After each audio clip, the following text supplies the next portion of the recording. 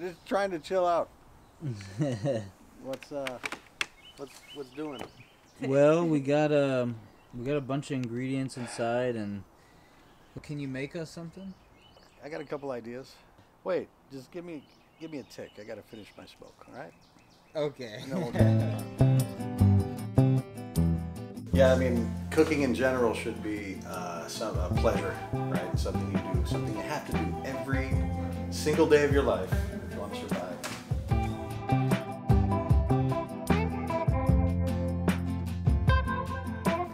So I looked in the fridge and I was given some guidance as to what has to go.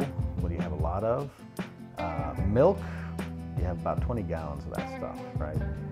I can make a flan. I'm not going to make a flan. I'm more of a savory guy. I'll leave the flan to my mother, but for now, we're going to make a simple, no-brainer. What are we doing? Cabbage, cabbage tortilla. Without further ado, let's get to it.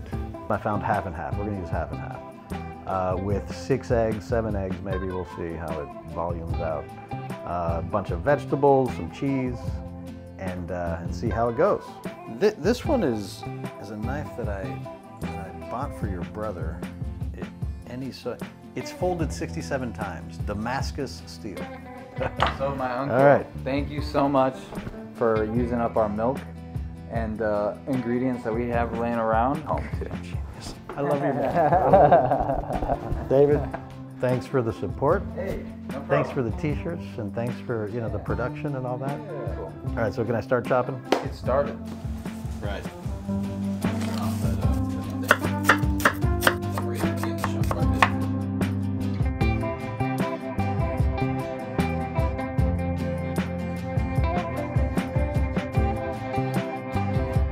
So uh, I look for color contrast in, in food as well.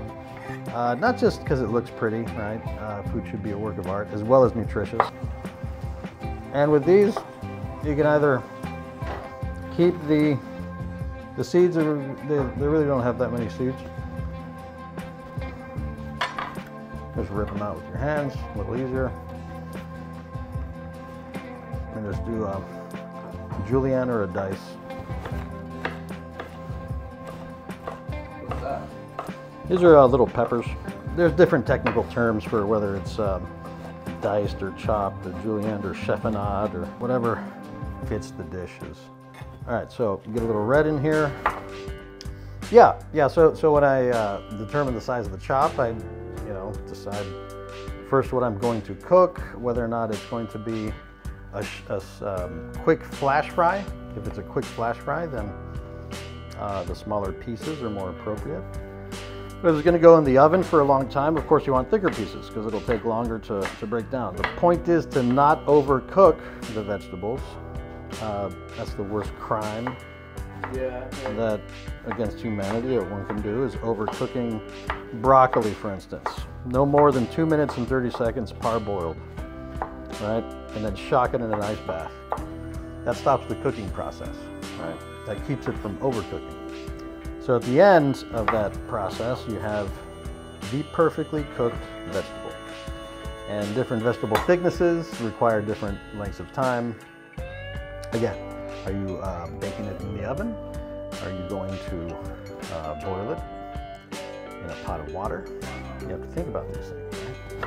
And I remember having just terrible, terrible overcooked, like, I don't know, broccoli or spinach or anything that's boiled for 30 minutes, right? Just forgotten about, just abandoned in a pot. It's just, ugh. Sure, it's, it's fuel, it's sustenance, but you actually lose a lot of enzymes and a lot of the um, nutritional value when you overcook. That applies to, to most ingredients. All right, so that's that. Little garlic. Let's get some garlic. Garlic's gonna be garlic's gonna be a rough chop. You, I like to buy. Actually, my only cheat is that I like to buy pre-peeled garlic. It just saves a little bit of time. See how usually the skin comes off, just make a pile. If the little skin stays on, that's fine. It's not gonna kill you. It's actually good for you. Creates roughage and uh, so yeah, garlic's pretty simple. Uh, just take, see how easily that uh, comes off? Uh-huh. I, I was a Russian linguist, military intelligence in the army, but in, uh, yeah, if you look historically, they say that an army marches on its stomach, right? So food and nutrition is very important to keep the morale of the troops happy, right? The, ma- the morale of those troops that are going to win your battle in wars for you. So, yes, cooking in the military has always been important. Uh, Bangkok, Thailand, just one of the most magnificent food oases in the world, right? And as a matter of fact, I do have some uh, wok videos, right, where I'm cooking some Thai, uh, some fried rice, uh, some, what is it, green curried vegetables, right, the Thai style, right, using the, um, the different types of uh, curries, curry pastes that they have. This is a turmeric root, right? Now you can fuss with it, you can take the skin off, why bother? Skin is actually good for you. So I'm just gonna take a, a grater and just grate the turmeric directly onto whatever it is so I can throw it into whatever pan. You, you can do this for an omelet in the morning if you're making it. It's just a healthy uh, ingredient boost. Uh, 101 of any kitchen uh, that you're going to serve food to people. Think like a doctor. First, do no harm. and if you have a messy, dirty kitchen, you're going to get somebody sick, right? Depending if you don't clean your hands or if you don't uh, clean the facilities, the, the instruments. All right, so we got the cabbage. It's in a bowl. I just boiled some water. Now instead of parboiling it, I'm just going to pour some water just to soften it up, some boiling water over the uh, cabbage.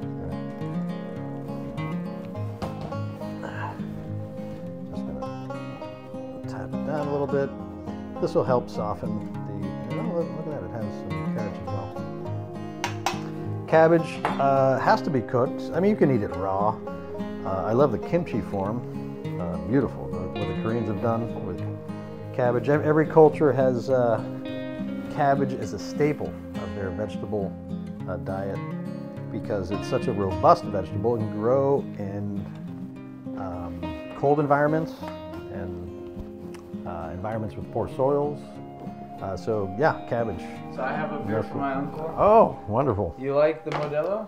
I like Modelo. I And sure guess do. what? The trick he taught me when I was a kid. That. I take that trick with me everywhere I go. Now let's do the filler custard part. All right, so you can start cracking some eggs. Now, what I do with these eggshells, what I'm going to suggest that you do, rinse them out with water, dry them out for like a day, and then put them in the oven at 350 for like 20 minutes. You dry them out, and then get a spice grinder and grind these into a powder. Right. Okay. That's your eggshell uh, supplement for your dog food. You're gonna whisk it fairly uh, robustly, vigorously. All right, and then here's when you're gonna start adding uh, your basic, what do you call it? Basic spices, you know, salt, pepper, cayenne. Right. The assumption is that you know how to boil water, right? And know how to adjust salt levels. I do understand that there are some professional chefs out there that purposely do not put any salt in their food because they're so tired of customers complaining that it's too salty. It's not salty enough. They're like, you know what? Put whatever salt level you want. To me, a true master chef knows how to put the exact perfect amount of salt every time with every dish. And that just comes with experience, right? And they say that if you put too much salt, the chef must be in love. I'm gonna put a little cholula, because why not, right? We're in San Antonio. Just a bit. We're in San Antonio. Right, a little bit of cheese. I don't know, just like a cup of cheese, shredded. You know what? Let's just dump all the vegetables in here. All right. Bam. That's right. Bam. Look at that. Look at those colors. Beautiful colors. This part could be substituted for cauliflower or potatoes or anything else, right? Just dump in the cabbage. Listen, I, I stopped going to restaurants, not to brag, right? And I'm, in all humility, right? I cannot find, rarely can I find a restaurant that cooks as good as I do at home, right? That's the sad fact. Um, it's more expensive. It's a little unpleasant. I don't know. Waiters, waiters, you have to wait. You're not, you don't know exactly what you're getting. When I cook for other people, I want them whenever they take a bite, I want them to close their eyes and I want it to nourish their soul as well as their body, right? Take a bite, they say, this is so good. Wow, right? I seldom get that in restaurants anymore. Um, and as far as nutritional value, you, you like, is a restaurant gonna shave the turmeric root directly into the thing? No, that they're not, right? Because most people find it yucky. Most people, um, but it's healthier. It's, it's a hell of a lot healthier for you. Uh, slim pickings here in regards to equipment. I mean, cast iron. I love cast iron. Uh, this is an electric stove, flat top, and I'm concerned about this beveled edge. Right? I'm sure the whole thing will heat up, but it's one of those things to think about. Little corroded, but you have to season that. Seasoning is a whole nother video. All right, so gas is optimal, but we're going to put that up to six. Because when you're doing a flambe, for instance, the flame is already there, right? Um, you tend to get a better feel for the heat when you have gas, like the size of the flame and the type of pan you have, right? And you see the pan smoking, you can turn it down. Um, stainless steel gets a bad rap, right? Because people don't know how to use it, how to operate stainless steel. Stainless steel has to get to medium high, where the water beads and little circles on it, like say you sprinkle a little water on it. If it fizzles, like then it's not hot enough. You heat it up to the point where it, the water beads across the surface, then nothing will stick to it. Okay, Yeah. what, how does that relate to uh, non-stick pans? The nonstick industry all came about because people don't know how to operate their kitchen equipment. Cast iron, stainless steel, if you know how to use them properly, that's all you need. Wow. There's no leaching from stainless steel. There's a little bit of leaching from iron, but iron is actually good for you. You need a little bit of iron in your blood. Oh, So, okay. so that's, yeah, let's, let, let me get a smoke in outside real quick and then smoke break. smoke break.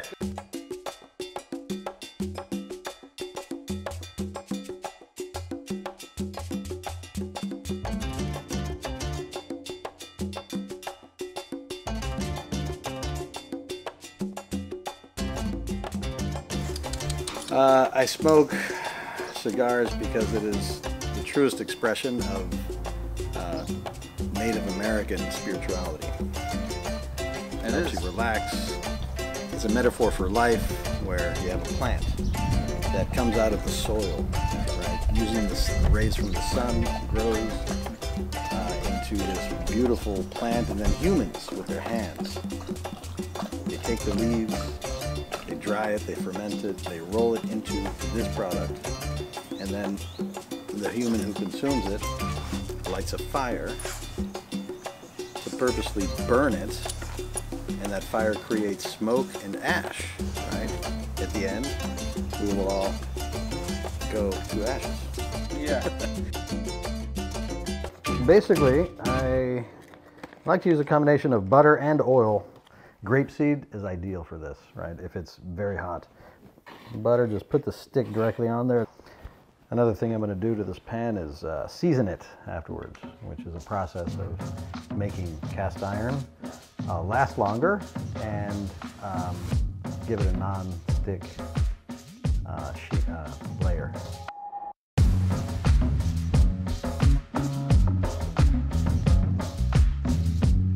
Gonna have to put it in the oven, uh, 450 or 500 for like seven, eight minutes, right? I'm gonna leave this on there for like 10 minutes.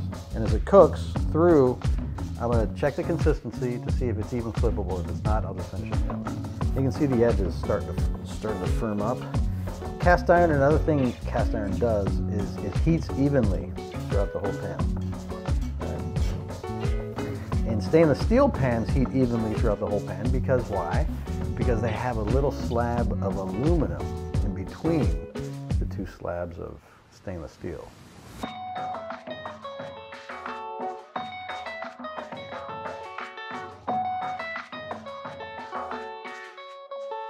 This is what it's all about. An expert in a beginner kitchen. All right, you want to flip it open while I, uh, a little heavy? All right. All right, go, flip it. We're gonna broil that seven minutes. means that it's wound by the motion of your hand. No, Tissot Swiss watch, sapphire crystal, so you can't scratch it. Caught my dad's eye.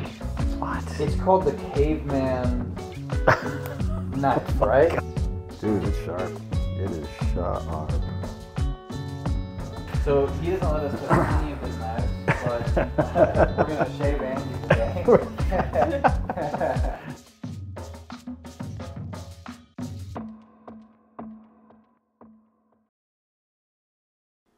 yeah, I've been mm-hmm. really curious as to how this is gonna taste. Watching this whole process, you come into my kitchen, you disrespect my things. No, I'm just kidding. Somebody has to clean. I have to clean this kitchen. I wanted an expert like Andy to come into this beginner kitchen and to see what he can do with just regular ingredients. What did he make? The Texas tortilla. I'm excited to taste it. All right, the moment of truth.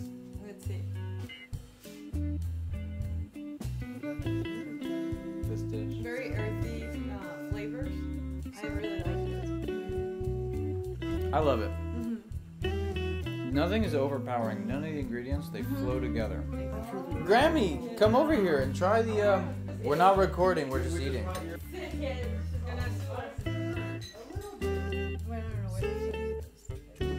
That's my mother. the best critic in the world. It's burned and there's no flavor. What happened to your touch? Wow. 23 uh, year aged rum, the best rum in the Caribbean. Zacapa 23. And to finish, this is a bone shaker, full body cast cigar. believe it's 100% Nicaraguan puro. Keep cooking,